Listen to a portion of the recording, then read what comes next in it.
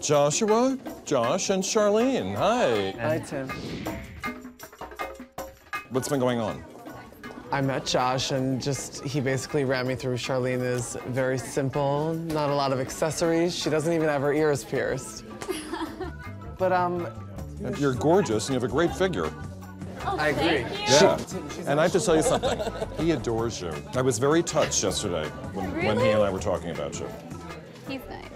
What I wanted to see, and I talked to Josh about, is having something for a nice date night, you know, simple but elegant with some nice detail where we can go out and have a nice drink and a nice dinner. And then also the thing that she normally would never do is have color, like this type of shoes with this kind of bag, which I think makes it pop a little bit.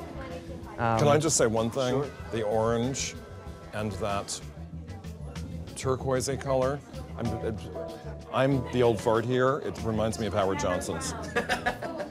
I was just about to say, what is Howard Johnson's, but then I know. And my one comment about the bag, forget about the color, is is it a distraction from the, the subtlety of the details in this dress? Because they are Okay. subtle. They're not screaming at you. Right. And, And it's superbly made. Thank you. You're not going to be one of the bottom. Thank you, Tim.